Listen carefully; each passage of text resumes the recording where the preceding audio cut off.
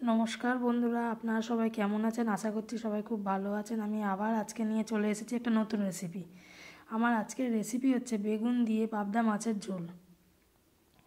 এই ঝোলটা আমি একদম কম, কোনো রকম মশলাপাতি ছাড়াই করেছি। তো আজকে দেখে নেওয়া যাক আমার আজকের রেসিপি আমি সাত পিস পাবদা মাছ নিয়ে নিয়েছি। পাবদা মাছটায় নুন, হলুদ আর তেল দিয়ে মাখিয়ে নিয়েছি। যেহেতু পাবদা মাছটা খুব নরম হয়, এই জন্য নুন, হলুদ, তেল দিয়ে আমি পাঁচ মিনিট মতন মাখিয়ে রেখে দেবো। আপনারা চাইলে তারও বেশি টাইম রেখে দিতে পারেন। আর আমার রেসিপি আপনাদের কেমন লাগছে, সেটা আপনারা জানিয়ে দেবেন। আমাকে একটা লাইক কমেন্ট শেয়ার করে। আর আমার চ্যানেলটিকে সাবস্ক্রাইব করে দেবেন। তো মাছগুলোকে ভালোভাবে নুন, হলুদ আর তেল দিয়ে ভালো করে মাখিয়ে আমি পাঁচ মিনিট মতো রেখে দিলাম।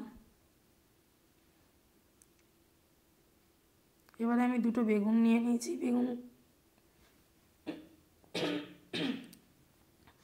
বেগুনগুলোকে ভালো করে ধুয়ে কেটে নিলাম। কড়াইতে তেল নিয়ে নিয়েছি, তেলটা গরম হওয়ার পর অল্প একটু নুন দিয়ে দিয়েছি যাতে মাছগুলো না লেগে যায়। আর তেলটা একটু ভালো করে গরম করে নেব যাতে মাছগুলো না লেগে যায়।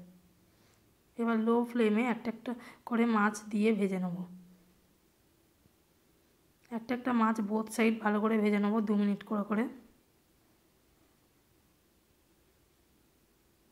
তারপরে হালকা হাতে মাছগুলো একটা প্লেটে তুলে রাখব। মাছগুলো ভাজা আমার হয়ে গেছে।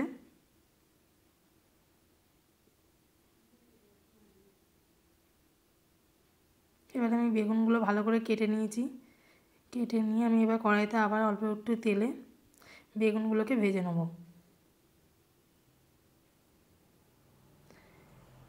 বেগুনে নুন আর হলুদ একেবারে দিয়ে দেবো। দিয়ে বেগুনগুলোকে ভালো করে ভেজে নেব।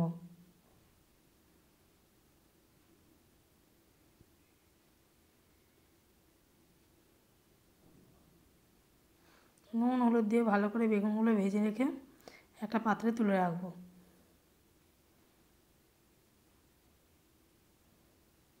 বেগুনগুলো অল্প নরম হয়ে এসেছে, এবার বেগুনগুলোকে তুলে রাখব। এবার একটা মশলা তৈরি করে নেব, একটা টমেটো নিয়েছি, অল্প একটু আদা নিয়েছি আর দুটো কাঁচা লঙ্কা নিয়েছি। আমি এই মশলাটা দিয়ে রান্নাটা করব।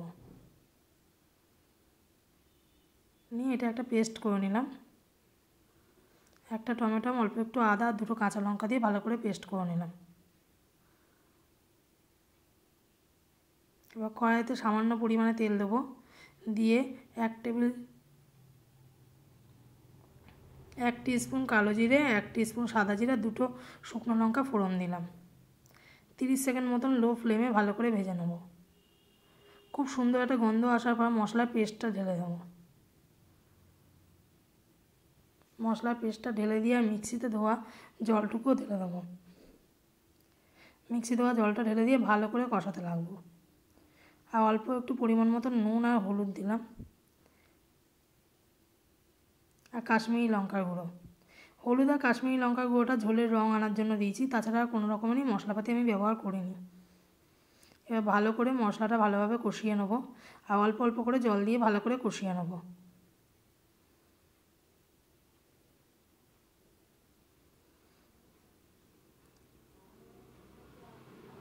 পরিমাণ মতো নুন, চিনিটা আপনারা আপনাদের স্বাদ অনুসারে দিয়ে দেবেন।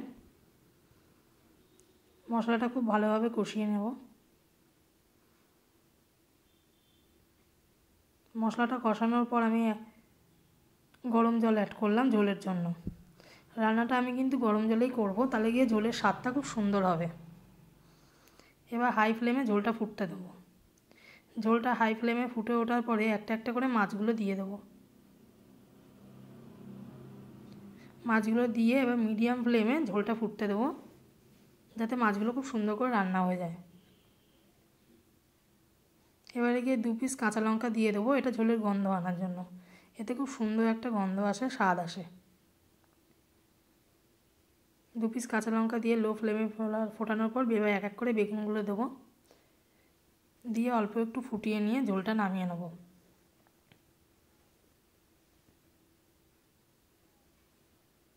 এক এক করে সব বেগুনগুলো দিয়ে দিলাম। আমাদের ঝোলটা হয়ে এসেছে রেডি হয়ে গেছে। আমাদের কোনো রকমের মশলাপাতি ছাড়া বেগুন দিয়ে পাবদা মাছের ঝাল ঝোল। এটা গরম গরম পাতের ভাতে খুবই সুন্দর খেতে লাগবে। আপনারা অবশ্যই একবার ট্রাই করে দেখবেন। Thank you for watching